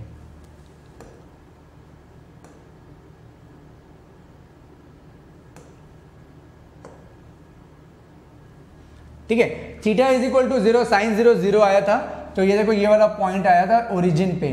पहला जो पॉइंट था, उसका magnitude theta is equal to पे ज़ीरो पे ज़ीरो था। Theta is equal to zero पे मैग्नीट्यूड ज़ीरो था तो ओरिजिन पे हम लोगों ने शो किया। ठीक है, और theta is equal to 45 degree पे कितना बनता है? पॉइंट सेवन ज़ीरो सेवन तो ये वाला जो मैग्नीट्यूड है, इसको मैं बोल रहा हूँ कि ये पॉइंट सेवन ज़ीरो सेवन है। ठीक है तो theta is equal to zero से चालू हुआ जैसे जैसे थीटा को बढ़ाते जाओगे, इसका मैग्नीट्यूड बढ़ते जाएगा तो ये बढ़ते बढ़ते कितना हो गया? 45 हो गया। ठीक है? फोर्टी फाइव पे पॉइंट सेवन ज़ीरो सेवन हो गया। Theta is equal to ninety पे कितना हो जाएगा? वन तो इसकी मैक्सिमम वैल्यू हो गई वन ठीक है? फिर से वन थर्टी फाइव पे कितना हो गया? पॉइंट सेवन ज़ीरो सेवन तो ये वापस से यहाँ पे आ गए आप, और बोल दिया मैंने मैग्नीट्यूड कितना हो गया? पॉइंट सेवन ज़ीरो सेवन फिर ज़ीरो पे वन एटी डिग्री पे कितना हो गया? ज़ीरो तो अब देखो इसका पैटर्न कैसा बनेगा? ये एम्पलीट्यूड बढ़ते गया बढ़ते गया बढ़ते गया और ये इस तरीके से बन गया, ठीक है? और इसके बाद सेम ये कुछ इस तरीके से हमारे पास पैटर्न बन जाएगा।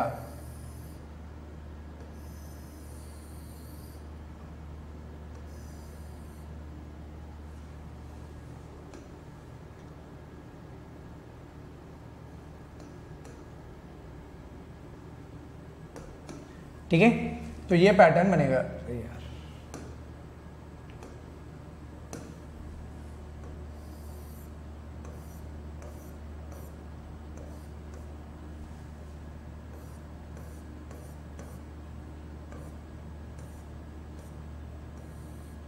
देखो ये theta is equal to zero से 180 डिग्री के लिए बना है। Theta is equal to zero से 180 डिग्री के लिए बना है। ठीक है इसमें जो पॉइंट्स हैं, वो मैं आपको बता देता हूँ। यहाँ पे ये जो पॉइंट्स हैं, वो कुछ इस तरीके से होगा। ये जो पॉइंट्स हैं, ये सारे पॉइंट्स हैं।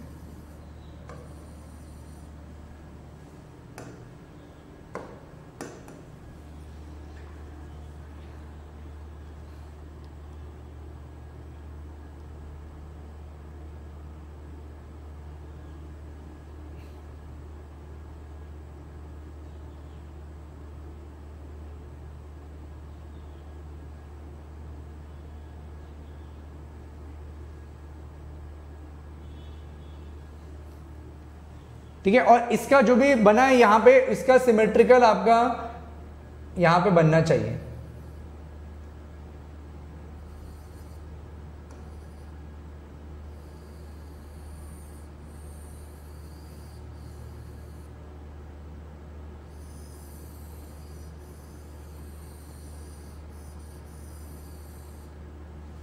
ठीक है? तो ये इस तरीके का कुछ पैटर्न बन जाएगा। इसको हम लोग एक्चुअली डम्बल शेप कर्व बोलते हैं।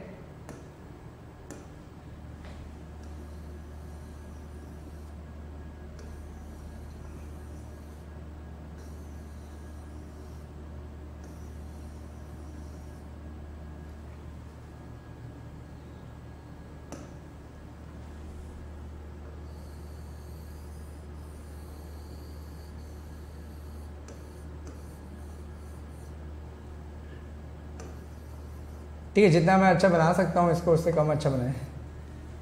बट ये आपको क्लियर होगा।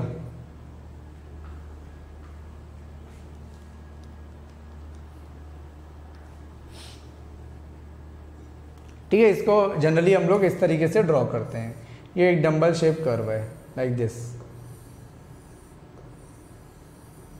ठीक है डंबल शेप कर्व है। ये इस फॉर्म में बनेगा। छोटा बनता है थोड़ा अच्छा बनता, मैं बोला ना। और एक बार स्मूथ कर्व डायरेक्ट बनाऊँगा तो भी बन जाएगा। बट क्योंकि हम लोग पॉइंट पॉइंट लेके बनाए, इसलिए थोड़ा सा इस टाइप का दिख रहा है।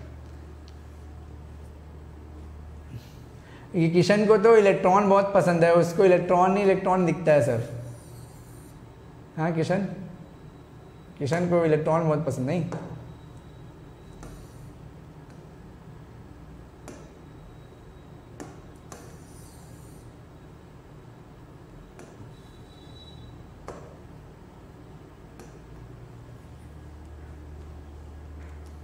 चलो तो ये क्लियर हो गया। तो theta is equal to zero forty five ये पूरा आपका जो पैटर्न बना that is E plane pattern and which is a dumbbell shape curve ठीक है? ये वाला पैटर्न आपको सभी को समझ में आ गया इसको मैं थोड़ा सा स्मॉल कर लेता हूँ। अच्छा चलो ठीक है एक मिनट यहाँ तक हो गया। अब इसके बाद देखो अगर आपको मन में जो क्वेश्चन आएगा कि आ, जैसा आप लोग क्वेश्चन पूछ रहे थे कि एच प्लेन में कैसे बनेगा तो देखो एच प्लेन में बनाने का ना सिंपल फंडा है। एच प्लेन का फंडा क्या है कि ये जो पैटर्न आपने बनाया, ये जो नॉर्मलाइज पैटर्न जो भी आपका आया, अगर मैं इसी पैटर्न को एच प्लेन में बनाने बोलूँगा तो बस आपको एक ही काम करना है। इसको अगर हमको एच प्लेन में बनाना है तो ये हो जाएगा ई नॉर्मलाइज्ड बस आपको कुछ नहीं करना है थीटा को फाइव से रिप्लेस कर देना है।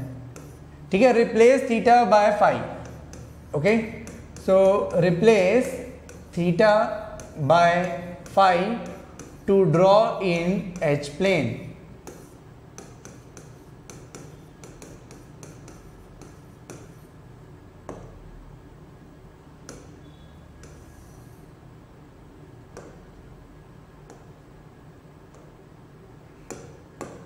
ठीक है replace theta by phi to draw in H plane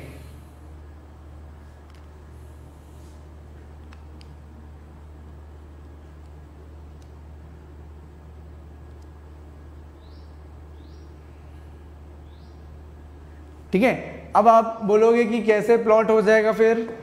है ना? अब इसको कैसे प्लॉट कर सकते हैं? तो ये प्लॉट करना तो बड़ा सिंपल होने वाला है, क्योंकि अब आपको मालूम है कि कौन से प्लेन में ड्रॉ करना है? एच प्लेन में ड्रॉ करना है। तो एच प्लेन में वैल्यू क्या होगी? बताओ एच प्लेन में हम लोग कौन सा प्लेन लेंगे? एच प्लेन में अगर आपको ड्रॉ करना है तो आप क्या करोगे? इसको ले लोगे एक्स इसको ले लोगे वाई यानी कि ये हो गया आपका फाइव इक्वल टू ज़ीरो और ये हो गया आपका phi is equal to ninety and then ये हो गया phi is equal to one eighty degree ये जो थीटा को चेंज किए थे, वही फाइव के लिए हो जाएगा। कोई चेंज तो आना नहीं है। फाइव इक्वल टू ज़ीरो पे ज़ीरो ही रखेंगे। तो ये ज़ीरो आएगा। Phi is equal to forty five पे पॉइंट सेवन ज़ीरो सेवन आ जाएगा। यानी यहाँ कहीं पे। तो क्या इसका पैटर्न कुछ इस तरह से बनेगा?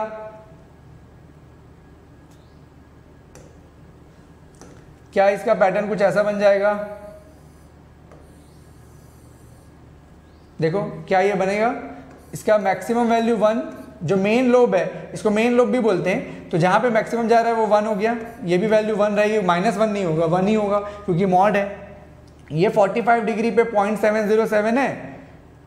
ठीक है, ये 45 डिग्री पे पॉइंट सेवन ज़ीरो सेवन है, ये 45 डिग्री मान लेते हैं, और इस मैग्नीट्यूड को पॉइंट सेवन ज़ीरो सेवन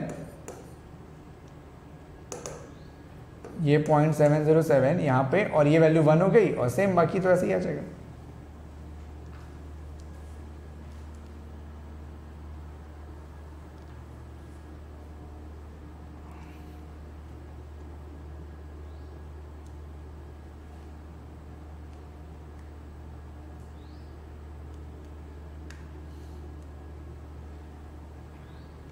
ठीक है? तो ये जो पैटर्न है, इन दोनों को अगर हम लोग कंबाइन देखें कंबाइन इन द सेंस कि एक साथ देखें तो ये देखो आप दिख सकता है आपको कि इसको अगर 90 डिग्री से रोटेट कर देंगे तो ये वाला पैटर्न बन जाएगा। और ई e प्लेन और एच प्लेन के जो पैटर्न्स होते हैं, वो एक दूसरे के ऑर्थोगोनल होते हैं, हमने बोला ई e प्लेन और एच प्लेन ही ऑर्थोगोनल होता है। तो जब प्लेन ऑर्थोगोनल होता है तो उसके पैटर्न भी हमको ऑर्थोगोनल दिखेंगे। तो ये आपका डम्बल शेप ऐसा बन रहा था। अब उसी चीज़ को रोटेट कर दो नाइन्टी डिग्री से तो ऐसा बन जाएगा। तो ये दोनों एक दूसरे के ऑर्थोगोनल हो गए। ठीक है? तो आपको क्या करना है? समझ में आ गया? ई प्लेन पैटर्न ड्रॉ करने के लिए आपके पास वाइजेड प्लेन होना चाहिए। एक ऐसा इलेक्ट्रिक फ़ील्ड होना चाहिए जिसमें थीटा कंपोनेंट हो, उसको नॉर्मलाइज करके प्लॉट कर देंगे। थीटा को वेरी हमेशा ज़ीरो से 180 डिग्री तक करेंगे। 180 से 360 डिग्री तक सेम आ जाएगा उसका मिरर इमेज ठीक है? तो जो भी आप इसमें प्लॉट किए उसका मिरर इमेज यहाँ पे आ जाएगा। फिर वैसे ही अगर आपको एंटीना पैटर्न ड्रॉ करना है एच प्लेन में तो थीटा को जो भी एक्सप्रेशन आपको दिया है, उसमें थीटा को रिप्लेस कर दो फाइव से और प्लेन कंसिडर कर लो एच ठीक है? दो चेंजेस कर रहे हैं। एक तो जो भी गिवन एक्सप्रेशन है, उसमें थीटा को फाइव से रिप्लेस करना है। अब फाइव से रिप्लेस कर दिए तो फाइव को चेंज कराना है। तो फाइव को चेंज कराने वाला कौन सा प्लेन है? X Y plane which is known as H plane तो इस तरीके से हमारा ई e प्लेन और एच प्लेन का कॉन्सेप्ट क्लियर हो जाएगा।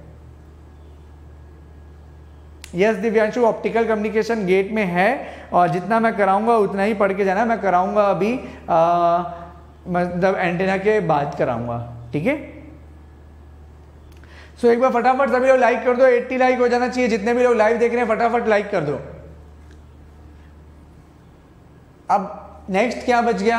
अब इस पैटर्न में ही समझना पड़ेगा हमको। नेक्स्ट जो टॉपिक है हमारा, इस पैटर्न पे ही रिलेटेड है।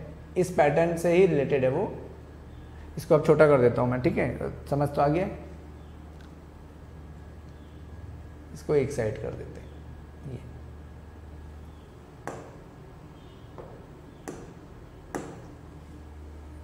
चलो, ठीक है? अब देखो, एक, इसमें दो टर्मिनोलॉजी हमको पढ़नी है। पहला कहलाता है आपका half power beamwidth half power beamwidth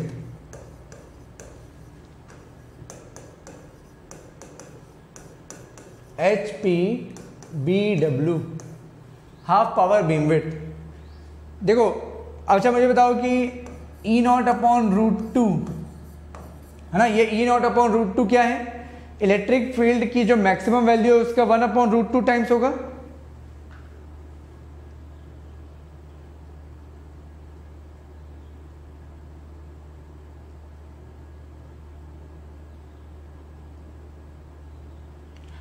ठीक है? E naught upon root two मतलब इलेक्ट्रिक फ़ील्ड की मैक्सिमम वैल्यू का one upon root two times अब अगर मैं इसको पावर में कन्वर्ट करूँगा तो क्या करूँगा? पावर में कन्वर्ट करने के लिए इलेक्ट्रिक फ़ील्ड के स्क्वायर करते हैं। तो ये जो भी आया, इसका स्क्वायर कर दो। तो स्क्वायर कर दोगे तो ये आ जाएगा। तो मैं ये बोल देता हूँ कि ये पावर का हाफ़ हो गया। ठीक है? इलेक्ट्रिक फ़ील्ड की मैक्सिमम वैल्यू का one upon root two times is nothing but half of the power isn't it half of the power तो ये वाला चीज़ ना वही शो कर रहा है। यहाँ पे आपने लिखा है हाफ़ पावर तो हाफ़ पावर हमको यहाँ पे कौन से एंगल में दिख रहा है? जल्दी से कमेंट करके बताना। हाफ़ पावर हमको कौन से एंगल में दिख रहा है?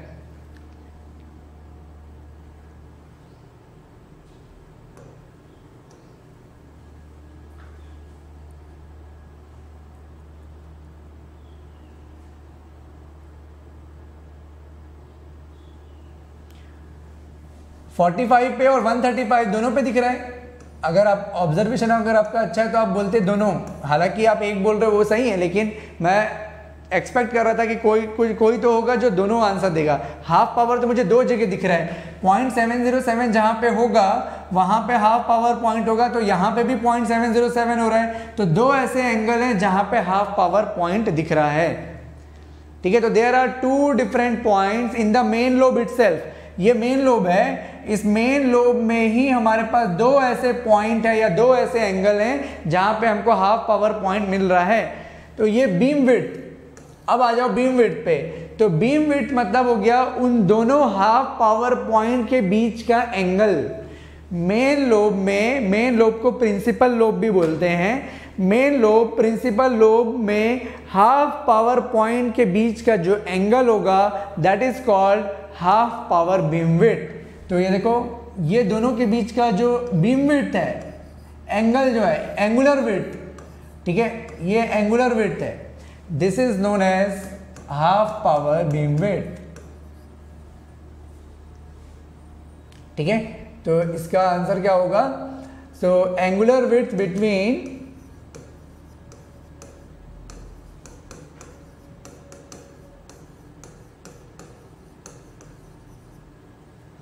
two half power point.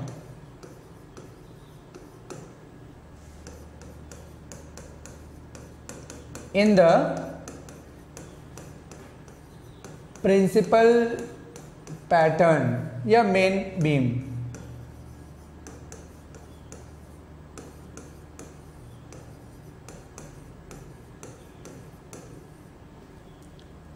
ठीक है half power beam width is nothing but the angular width between the two half power point in the principal pattern और द मेन बीम ठीक है, और ये क्योंकि मैं बोला था आपको हर्जन डायपोल के लिए है तो आप ये बोल सकते हो कि for Hertzian dipole it is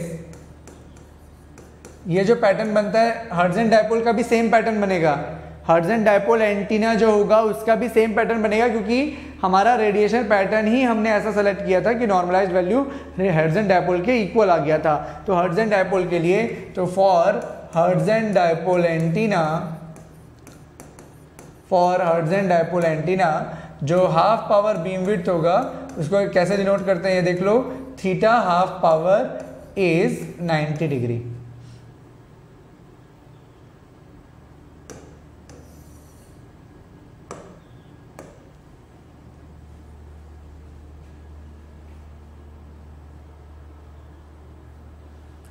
pattern का शेप दूसरा भी हो सकता है, ठीक है? हाँ पैटर्न दूसरा हो सकता है ना तो उसके अकॉर्डिंग जो है वो point seven zero seven change होगा।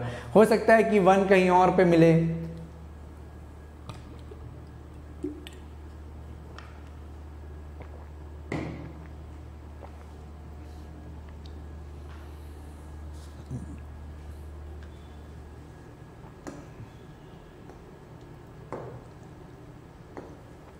ठीक है सेकेंड जो इसमें पॉइंट है, वो है बीमविड्थ बिटवीन फ़र्स्ट नल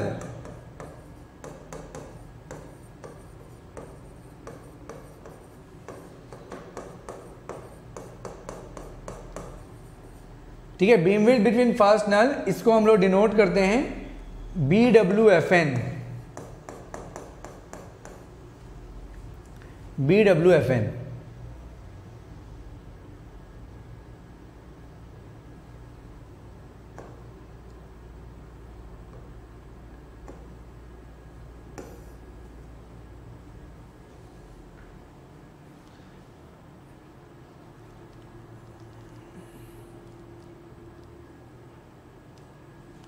ठीक है तो बीमविड बिटवीन फ़र्स्ट नल क्या आएगा? अब आप समझ सकते हो बीमविड बिटवीन फ़र्स्ट नल को आप कैसे डिफाइन कर सकते हो। कमॉन गाइस एक बार सभी लोग लाइक कर दो। यहाँ पे अभी मैक्सिमम स्टूडेंट्स लाइव हैं तो 100 लाइक हम लोगों को टारगेट था। We have already reach to the 84 और जो भाई डिसलाइक किया है भाई, उसको भी बोल दो भाई, किस लिए डिसलाइक किया है, पता नहीं।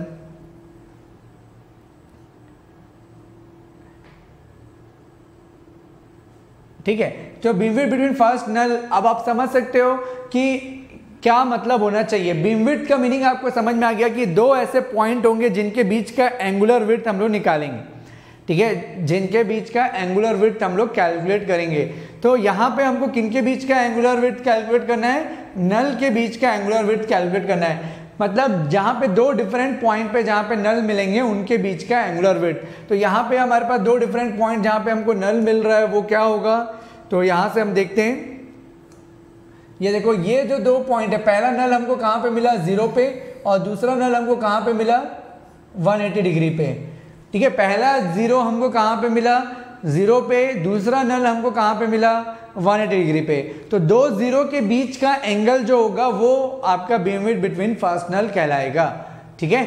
तो angular width between two nulls angular width between two nulls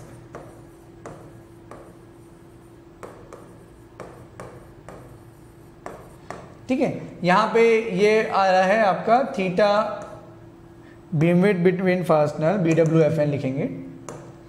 Theta B W F N is 180 degree ठीक है? ये उतना इंपॉर्टेंट नहीं होता ये इंपॉर्टेंट है बट आप इसको रख, लिख सकते हो याद रख सकते हो। अच्छा यहाँ पे तो बहुत सारे बहुत सारे हेटर्स आए थे यार। मतलब लाइक करने बोला तो डिसलाइक करके चले गए।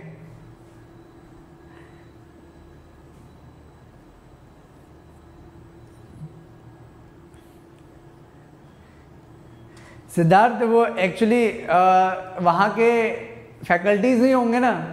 वहाँ के फैकल्टीज़ को बोला जाता है ना, मैं तो वहाँ से हूँ ना मतलब मुझे पता है ना वहाँ क्या बोला जाता है। किसको क्या बोलते हैं, वहाँ कोई स्टूडेंट थोड़ी करता है सब।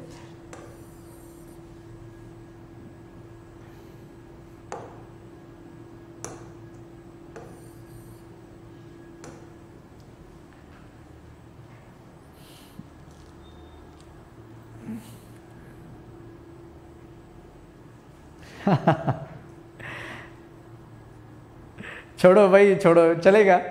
कोई दिक्कत नहीं है यार, आप लोग का सपोर्ट काफ़ी है। सौ डिसलाइक हो जाए, एक लाइक रहे, लेकिन फ़र्क नहीं पड़ता, आप लोग साथ में हो तो।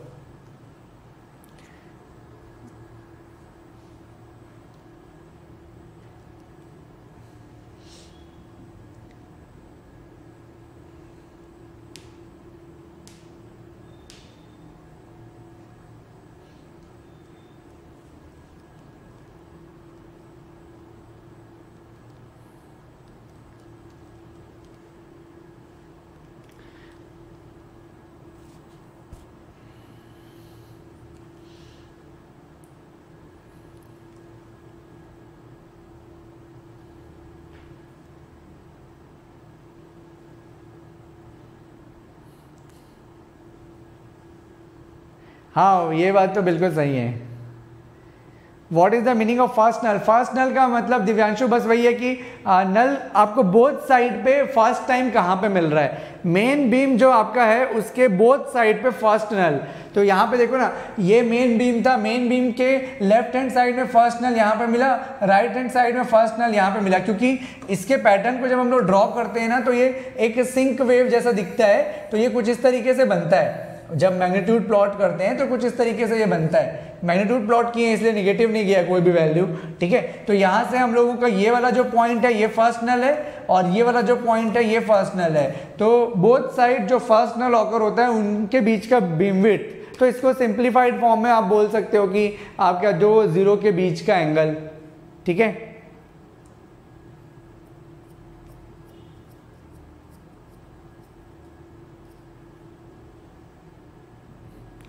थैंक यू दुबे बस यार, आप लोग आप लोग ऐसा ही सपोर्ट रहेगा तो फिर मतलब कोई दिक्कत नहीं है। मज़ा आएगा तब जब इस टाइप का फाइट हो कि आप लोग भी लाइकिंग और उनकी डिसलाइकिंग तो ये फाइट अपने आप में मज़ेदार है, क्योंकि अच्छी बात यह है कि ना स्टूडेंट्स जो हैं वो ऑलरेडी डिस्ट्रीब्यूटेड हैं तो कोई प्रॉब्लम नहीं है। जो वहाँ पढ़ना चाहते हैं, वो वहाँ पढ़ रहे हैं। तो पढ़ रहे हैं, ठीक है, उनको जैसे पढ़ना है, वो पढ़ रहे हैं। और जो स्टूडेंट्स यहाँ पढ़ना चाहते हैं, वो यहाँ पर पढ़ रहे हैं। तो ये फ़र्क नहीं पड़ता कि वहाँ के स्टूडेंट्स यहाँ क्यों नहीं आ रहे, या यहाँ के स्टूडेंट्स वहाँ क्यों नहीं जा रहे हैं, क्योंकि दोनों को आइडिया है कि कहाँ से पढ़ना है। इसीलिए वो लोग, जिनको यहाँ से पढ़ना है, वो लोग यहीं पढ़ रहे हैं, क्योंकि वो जानते हैं कि यहाँ पे कंटेंट पे ज़्यादा बात होती है और इधर उधर की बातें कम होती है। और, जिनको सब टाइप चाहिए कि पढ़ भी रहे हैं टाइम भी लगा रहे हैं तो वो वहाँ पढ़ लेते हैं। एक घंटे में एक ही चीज़ पढ़ रहे हैं तो ऐसा भी कई लोगों को पसंद होता है तो वो वैसा पढ़ लेते हैं तो कोई इशू नहीं है उससे। सेकेंड नल यही हो कहलाएगा, ये सेकेंड नल कहलाएगा बट उनके बीच का एंगुलर विथ वगैरह कैलकुलेशन नहीं होता है। है ना? उनके बीच का मतलब वो एक कैरेक्टरिस्टिक्स नहीं है या वो एक पॉपुलर टर्म नहीं है जिनको हम कैलकुलेट करें, ठीक है? तो बीम विथ बिटवीन हमेशा फ़र्स्ट नल के बीच में निकाला जाता है, कभी भी सेकेंड नल के बीच में नहीं निकाला जाता और हाफ़ पावर बीम विथ निकाला जाता है, दो पावर के बीच का एंगुलर विथ या वो पॉइंट जहाँ पे इलेक्ट्रिक फ़ील्ड अपने मैक्सिमम वैल्यू का one upon root two times हो रहा है। देखो, ये भी ध्यान रखना कि हाफ़ पावर बीमविथ को डिफाइन करने के लिए कई बार आपको पावर पैटर्न भी दिया हो सकता है। किसी क्वेश्चन में आपको कंफ्यूज करने के लिए दिया हो सकता है कि मान लो मैं ऐसा कोई क्वेश्चन बना दूँ और यहाँ से मैं कोई ऐसा पैटर्न बना दूँ, ठीक है? ऐसा कोई पैटर्न बना दिया मान लो, ठीक है? और कोई भी वैल्यू आपको दे दिया, ये वैल्यू वन दे दिया, यहाँ पे मैंने बोल दिया कि ये 0.5 है किसी पर्टिकुलर एंगल पे, मान लेते हैं कि 60 डिग्री पे, और यहाँ पे हमने बोल दिया कि यहाँ पे कोई पॉइंट है 0.5 और ये theta is equal to 30 degree पे, या theta is equal to 60 degree पे, ठीक है? और ये मैंने बोल दिया कि द गिवन पैटर्न इज़ ठीक है, यहाँ पे हमने बोल दिया the given pattern is power pattern ठीक है? The given pattern is power pattern तो इस पर्टिकुलर केस में, इस पर्टिकुलर केस में what is the half power beam width ठीक है तो what is the half power beam width अगर हम बोलेंगे तो वो कितना होगा?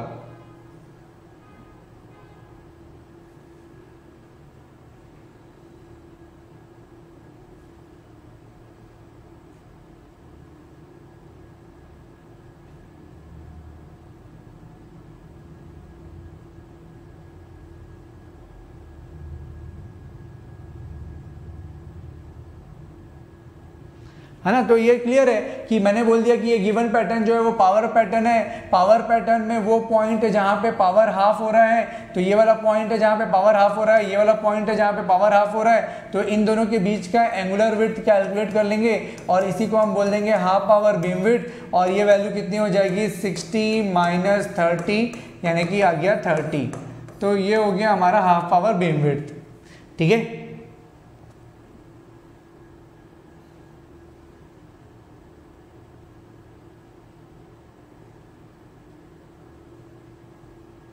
thank you dear tarun theek hai now tell me what is the beam width between first null yahan pe beam width between first null kya hoga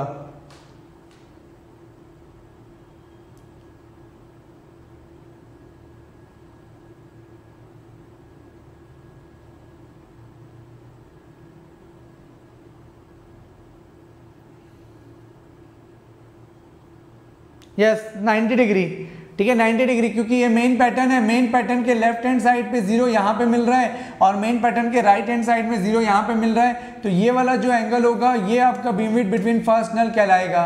तो यहाँ पे beam width between first null क्या हो गया? 90 degree हो गया। ठीक है? तो इस तरीके से हम लोगों को कोई भी पैटर्न दिया हो सकता है। पैटर्न को हम लोग और डिटेल में पढ़ेंगे, अभी एनालिसिस करेंगे, जब हम लोग थोड़ा एंटीना एरे के बारे में डिस्कशन करेंगे। ठीक है?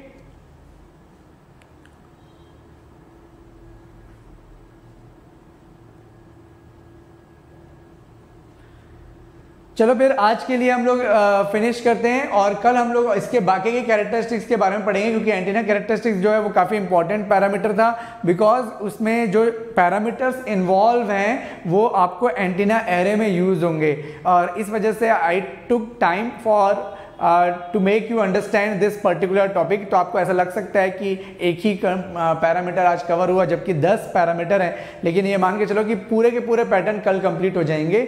आज आपका एंटीना रेडिएशन पैटर्न इसलिए टाइम लगा क्योंकि आप फ़र्स्ट टाइम हम एंटीना स्टार्ट किए थे। आपका पूरा एक बैकग्राउंड बनाना था, आपको पूरा एक विजुअलाइजेशन भी कराना था, आपको एक माइंडसेट देना था कि कैसे कैसे चीज़ें होती है कौन कौन से पैरामीटर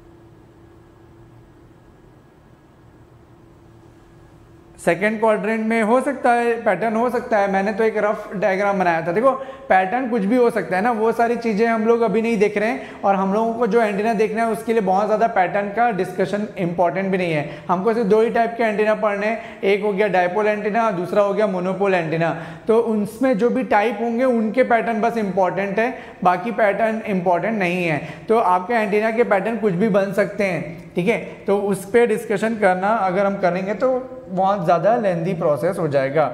जैसे कि अगर चाहो तो कई एंटीना पैटर्न ऐसे भी बनते हैं। ये, ऐसा भी कोई पैटर्न बन सकता है। तो अब इस पैटर्न का कुछ कैलकुलेशन अलग हो सकता है। तो पैटर्न के अकॉर्डिंग हमारा डिस्कशन का पॉइंट भी अलग अलग होगा। ठीक है?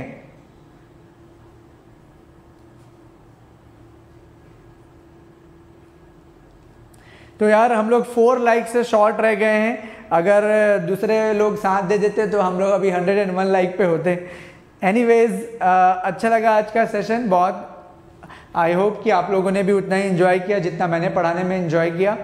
ठीक है तो don't forget to follow me on Unacademy and that is my profile link and don't forget to subscribe the greatest GATE double E don't forget to subscribe all the YouTube channels and thank you for watching the today session please like share and subscribe the particular channel ठीक है? चलो, मिलते हैं tomorrow कल का timing आप लोगों को मालूम है तो कल का कुछ लोगों को अगर ध्यान नहीं होगा तो मैं एक बार बता दूँ यहाँ पे। कल हम लोगों का 4 पीएम को ओके 4 पीएम को हमारा ईएमटी e अभ्यास सेशन है।